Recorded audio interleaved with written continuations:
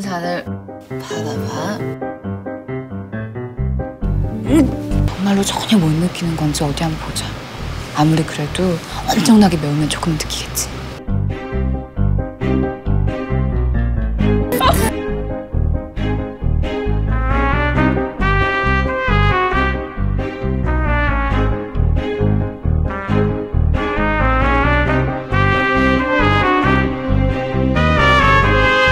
나와라. 한 줄 알고 라면 먹고 있잖아.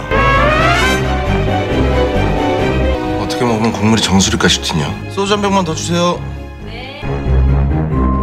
여자가 여자한테 인형을 선물한 거야. 이거 그린라이 트냐? 최준경이 인형 사줬냐? 소독 잘하고 약 바르고 공대 가면 알겠지? 좋아해요. 어떻게 끌고 왔냐?